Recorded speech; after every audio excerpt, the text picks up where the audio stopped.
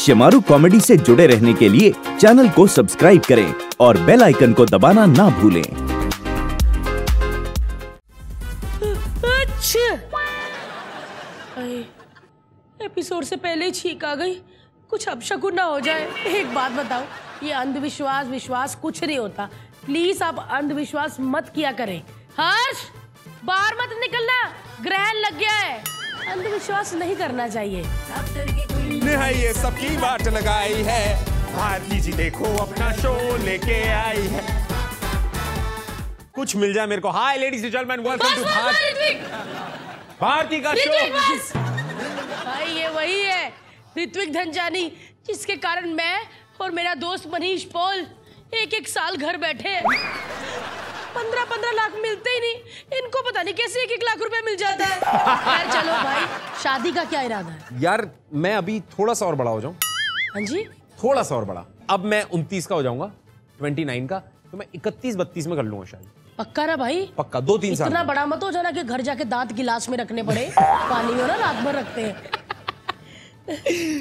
अच्छा ऋत्विक इतने सारे अवार्ड आप होस्ट करते हो। हाँ। और आजकल तो चलो लड़कियाँ तो है ही कि टाइट पहनती है इधर से बड़ा फूल होता है है ना? हाँ। इधर से कपड़ा होता ही नहीं है। हाँ। आजकल लड़के भी टेढ़े मेढ़े कपड़े पहनने लगे भाई, बहुत। आपको भी कई बार मैंने फ़ोटो में देखा कुर्ते पजामे कुर्ता होता है एक, एक तरफ़ से लंबा होता है। हाँ खींचा फटा तो मतलब कभी किसी की सेलिब्रिटी को ऐसे लाइव उसके कपड़े देखे ऐसा कभी हँसी निकली? बहुत बार निकली है लेकिन फिर कई बार ऐसा लगता है की यार ये कमाल है इसमें दम तो है इसके पिछवाड़े में जो इतना पहन के आ गया है पहन के आ गया बहुत बड़ी बात है मतलब पूरा का पूरा गुलस्तान पहन के आ जाते हैं भाई पता नहीं क्या क्या मतलब मैंने एक एक तो आजकल वो देखा है कि एक कुर्ता है इतना बड़ा और वो कुर्ते का एक कट यूँ है उसके अंदर से तीसरा कट यूँ है और तीसरे से एक ये छल्ला बाहर निकल रहा है पता नहीं ये कपड़े बनते फिर आप पहनते हो कि ऐसे पड़े पड़े आप पे वो टेलर करता रहता फिर सिलाई करता है? नहीं मैं बताता हूँ मेरे साथ क्या होता है मेरे साथ ये होता है कि मेरी जितनी भी स्टाइलिस्ट आते हैं ना उनको पता है कि मेरे को ये अतरंगी कपड़े पसंद है। तो वो पहले चार चीज़ें ले आते हैं चारों को फाड़ते हैं। और चारों को फाड़ने के बाद जोड़ के कुछ बनाते हैं बोलते ये तैयार। और मैं और मेरे को अलग ही मैं अलग जोश में हूँ, नहीं ये इसको बोलते हैं फ़ैशन पहन के दिखाओ किसी के पिछवाड़ा में दम है तो ये। आपको ऐसी चीज़ दूँगी वो खा के आपको मिमिक्री करनी। अपनी मर्ज़ी का नींबू उठा अच्छे से चबा अब इसमें भी मर्ज़ी इसमें कौन से अलग अलग नींबू है? नींबू तो नींबू ने। कर। हाँ, बड़ा छोटा भी तो क्या करना थोड़ा सा चाटना है या चाटना नहीं मुँह में पूरा डालना। पूरा? हाँ। मम्मी ने सिखाया था जब नींबू के कंकड़ निकालने हो आपको बड़े प्यार से नींबू को यूँ दबाएँ बड़े मज़े लेते हो और यूँ छिड़के। देखिए गायब। माँ का प्यारा लाडला बेटा ऋत्विक धनजानी। चबाओ अच्छे से। हाँ हाँ कर कर कर मेरा हाँ। हाँ।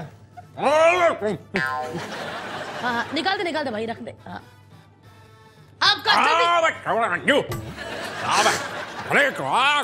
राख है राख से राख निकला उसे विश्वनाथ हैं था था।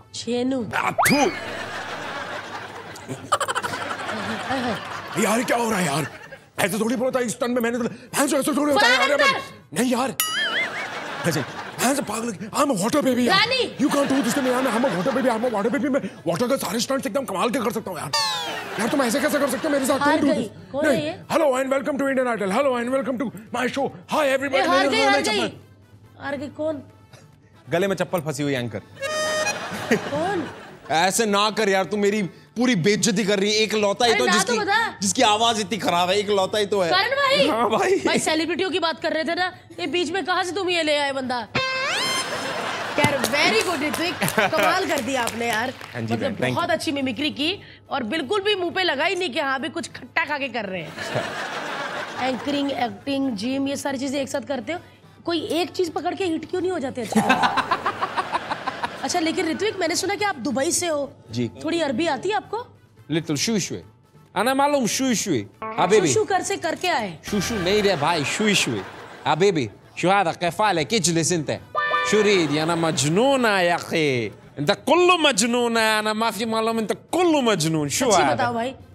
फ्री आए हो इसका मतलब गाली दे रहे हो ना हाँ है ना कुछ लोग दिल के इतने प्यारे होते हैं जो एक बार बोलो और तुरंत आ जाते हैं क्योंकि मैं हूं ही इतनी बड़ी सुपरस्टार किसी के मजाल है मुझे मना कर सके आरती का शो